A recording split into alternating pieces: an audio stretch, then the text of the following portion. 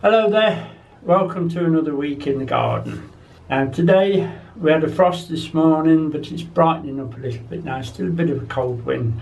So we're starting in the greenhouse this week at the top of the garden to show you our progress of getting on with it.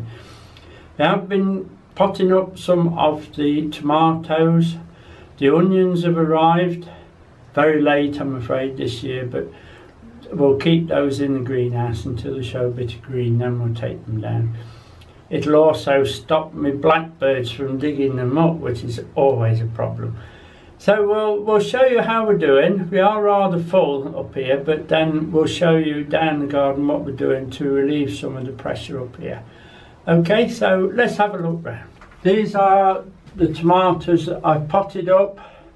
Still a lot to go yet but these are Roma they're a plum type tomato, but we want these so we can chop them up and freeze them and then use them direct from the freezer.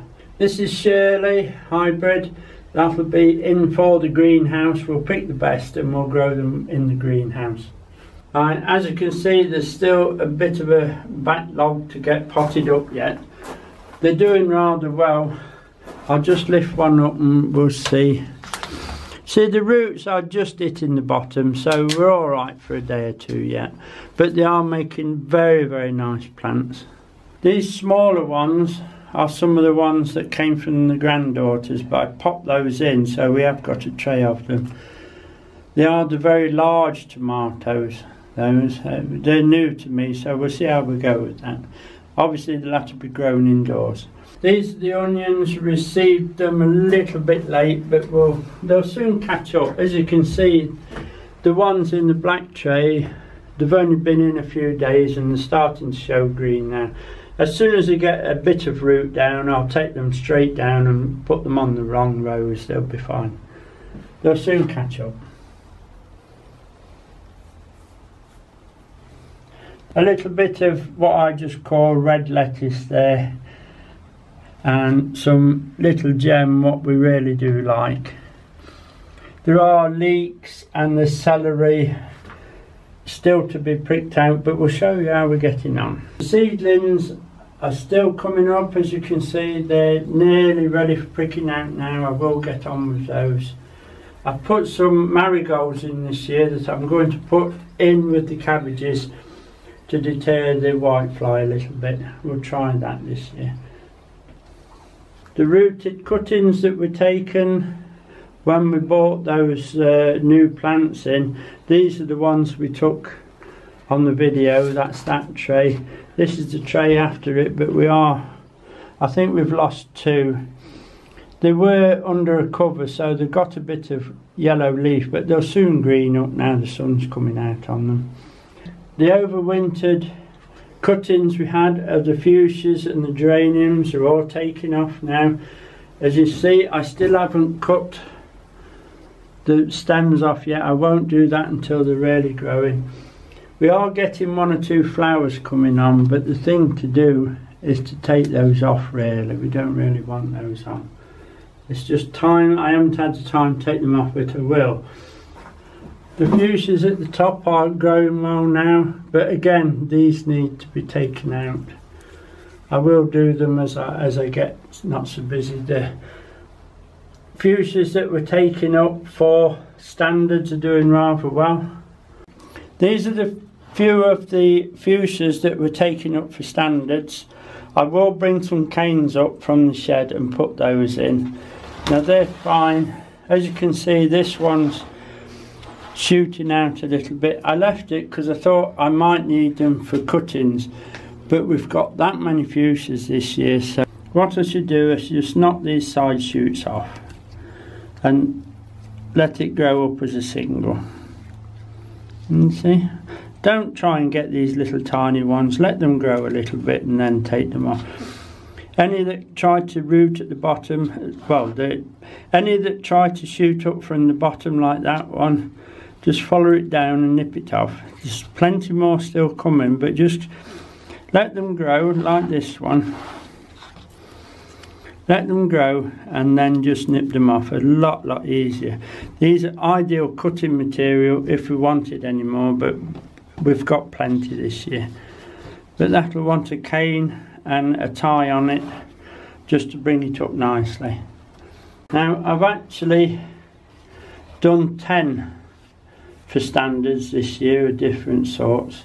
We'll be following the progress of these as, as we get through the season. There should be some quite pretty plants. Well, that's Winston Churchill, it's rather, rather nice. But these are cuttings that we've taken and then we'll take them up. We'll take them up and then we'll break them to a head. There's no need to take them too high because they'll fall over. The weight will take them over. Now that's the progress of the greenhouse.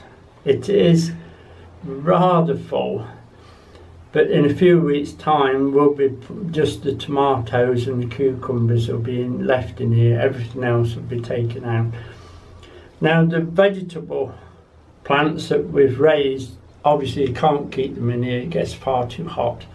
So we'll take you down the garden and show you my raised cold frame as we like to call it and I'll show you show you how I've made that that will take a lot of pressure off the greenhouse. Only the vegetable plants, obviously you can't put the geraniums and the fuchsias in, etc. because the it will be cold in this frame, so we'll keep those in the greenhouse for now. Right, we're down halfway down the garden at the shed and I want to show you my raised, well it's a table really, but we'll call it a raised cold frame. As you can see, I've made it from tanalized timber. The top is an inch thick and on some big big strong legs are put on it. It's not technically made.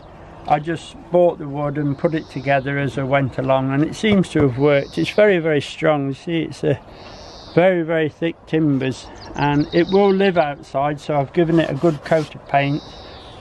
We'll perhaps give it another one before winter. But now this will take the vegetables from the greenhouse. I've put these hoops on so we can put the net on in the day and at night then I put a double fleece on it just because of getting one or two frosts and just don't want to slow these down too much. But the vegetables are looking a lot better in this temperature than what they were in the hot greenhouse. They'll grow a lot better now. Now I've raised it up because in about three weeks I think we've got left the chickens will be released. It'll be the end of their solitary so they'll come run about underneath as well. And if I had it on the floor they'd love it. They love cabbages. I'll show you in a moment a a kale plant that I potted and gave them and what they do to it. So I'll show you that in a moment. Now these uh, these will be fine, they'll have to be watered well. They'll do rather well here until we put them in the garden. And then we can also for later in the summer use it for different things as well for more cuttings etc I'm very pleased with it. It's it's finished up quite good um, those that do the costs of these things I think it cost me about 30 pounds in all. That's with the paint so it weren't too bad. And it, it should last. I'll just cover it down again because the wind is a bit cold today and this net will just keep the wind and then we'll show you it covered okay? I made it so it can just slide backwards and forwards. The idea being that the net's a little bit tighter at the bottom so it will hold itself on okay so there you are. That's my raised cold frame. I'm pleased with it. It's, it's going to do a good job. I have the normal little clips that we pop on here. If it gets a bit windy, I'll just put the clips on. But normally she'll just sit there and that'll be alright. I'll have to watch the water in there, especially if we get lots of wind on it. I just want to show you the kale that I dug up and repotted for the chickens. It was a lovely bushy plant when I brought it up and this is what they do. It might just break again so I'll leave it in the pot and leave it outside. I'll trim these off and see if we can get it to green up again. While we're halfway down the garden we'll just go down to where bed B is, where the potato, where we put the potatoes in. We'll have a look at the raised frame as well while we're down there. I had to water it this morning. We'll show you what's popping through. Right, we're down at the raised frames. It's a lovely day down here. It's just out the wind a little bit and it's it's rather nice. Right, we'll just I'll lift the lid and show you what's coming up, okay? Right, as you can see the radishes are all coming up. These are the purple ones that the granddaughter sent. These are the free ones that we got from Browns. They're coming up quite well. There are a few of the onions coming up. These are the pulling onions, spring onions. And one or two of the carrots are just popping through now as well. No sign of the parsnips, obviously. They'll take some time yet. I've watered the frame this morning and I think that it's going to be an onward going thing right through the summer keeping this moist because it's raised up the, the water will go through it. The wind's getting up a bit now and chilling us a little bit never mind. Now on the potato bed now the potatoes in the next job will be the ridging up. But I can't ridge up on this heavy land with that. So I need to dig the garden between the two rows of potatoes so it's nice and friable for when I start ridging so I use what I call the short fork which is that means that these are short and the handle's and it doesn't go into the ground so far so I'm not pulling up too big a lumps from the bottom but that is about the distance I'll need to ridge with. So as you can see it's quite a job. And with this planting and walking up and down the rows etc it's really made the the soil hard so it needs to be dug forked over if you like and just broken up a little bit. And then I'll come when it's dried a bit I'll come and break the top up again with the fork. So it's friable and can be ridged. It'll dry it out nicely for ridging up because I'll need to put some fertiliser in there before I ridge. So that's my job at the moment. I have started this morning but we had to stop to do this little bit of filming which was a bit of a relief really it's hard work. I shall press on with this digging between the potato rows um, and then I'll show you maybe tomorrow how we've progressed. It might take more than a day because there's rather a lot to do and the ground is very very hard and heavy. But I'll press on with it. It's one of those jobs got to be done. So we'll get it done and I'll see you tomorrow then. Right Friday today beautiful day. We're just on our way down the garden um, we'll have a look at the Japanese overwintered onions, the garlic and those broad beans we put in, see how they're getting on. Uh, as you can see they're doing rather well but the ground is so dry now, it's been a few weeks between, since we had a good shower of rain. Damp underneath but I could do with a good shower of rain to bring them up a bit now. Right, we'll have a quick look at the garlic while we're down this far. This is as far as they've got at the moment. Doing rather well actually. They're standing well, but I've noticed in some places the ground is actually cracking at the beginning of April, so that's not a very good sign for the weather. While we're down here, we'll just take a quick look at the beans.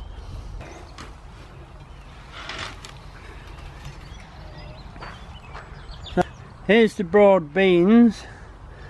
They're still with us. If we didn't have these cupboards, there'll be nothing left by now. But they're doing well. They're fine.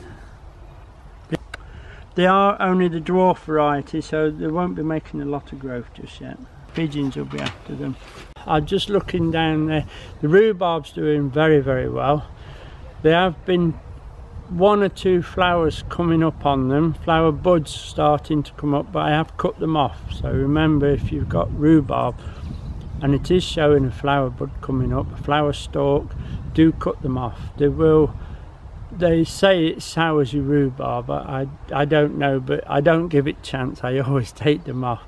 I'm cleaning the chickens out today and I'm been saving all the straw etc and I'm putting it on the bottom here so I can dig it in and we'll grow the uh, squashes and the pumpkins in that area. I've decided to put them down there. I'm going to put trellis up so we'll see how we go with that, okay? Now as I said to you the rhubarb's doing rather well. We're just coming past so we'll have a quick look see if there are any flower shoots coming up to remove.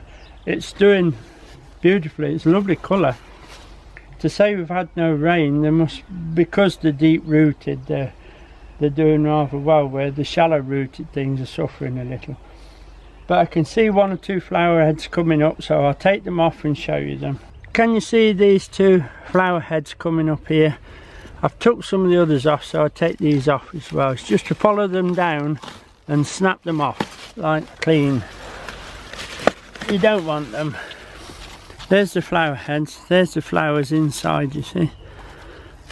Now we don't want flowers, we want rhubarb, so we'll take these off. As you see them, just pull them off.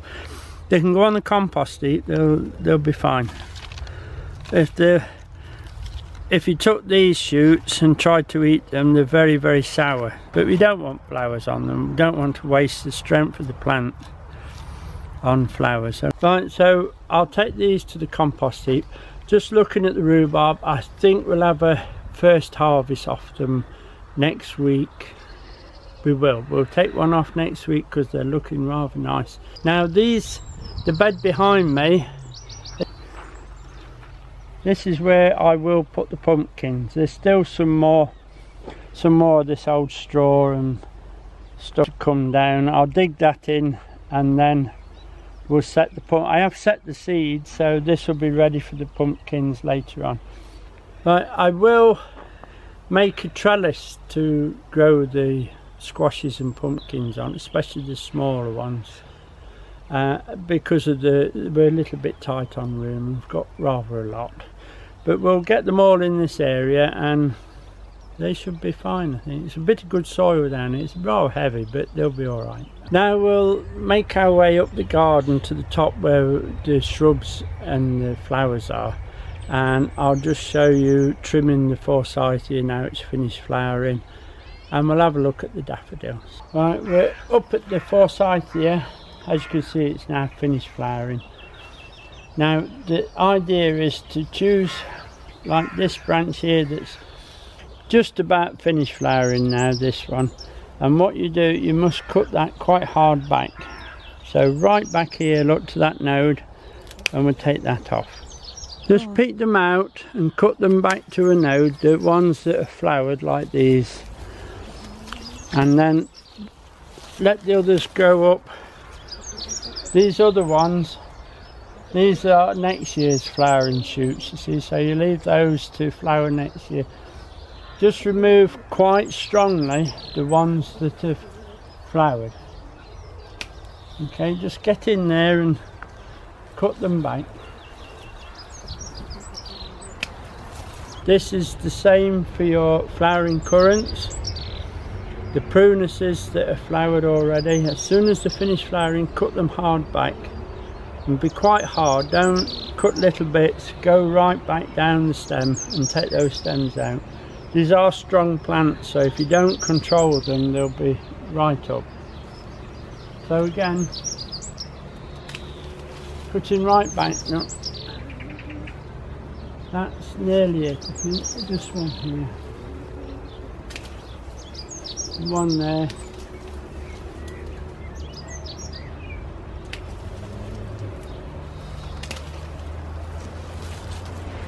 Right, the the tree that is growing at the back of this this bed is a Portuguese laurel.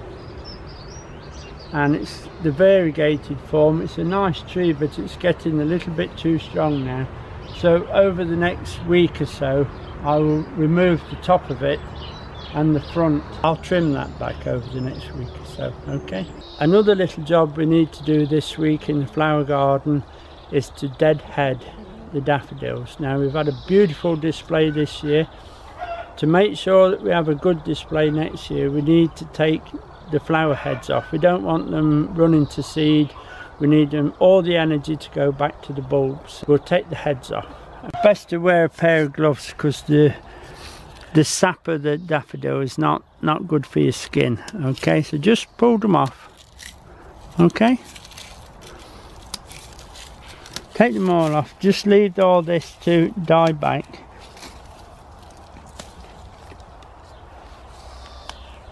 It's best to leave the whole of the plant in and let it all die back slowly rather than tying them in knots and cutting them off.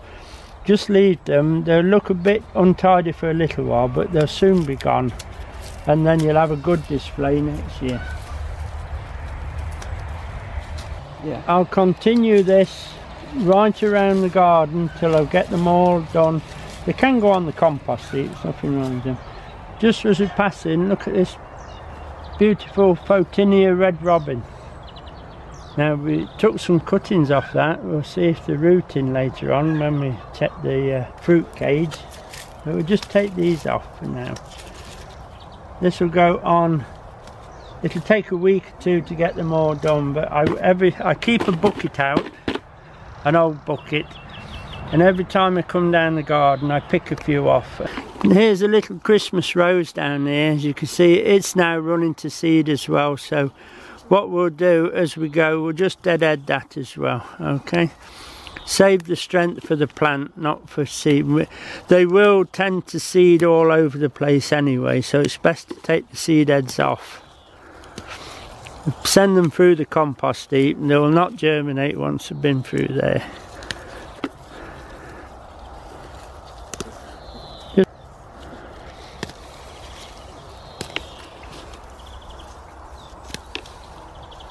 That's an ongoing job. It's going around removing all these dead heads on the daffodils all your bulbs. As they die just take them off and the flowers that have come out the christmas roses etc we'll take the dead heads off those take those away. Now that will be ongoing for the next oh, week at least now until we've got them all in. Our daughter gemma is on a i think it's her third year at college doing flower arranging. Now she always does for us at Easter, Christmas etc a flower arrangement. And so this year I've asked her if we can just pop and film her doing the arrangement for us. She's quite good at it so and she's agreed. So next week hopefully we'll be able to show you a little bit of flower arranging as well. That'll be it for this week. Hopefully we'll see you next week. Have a nice weekend. Bye now.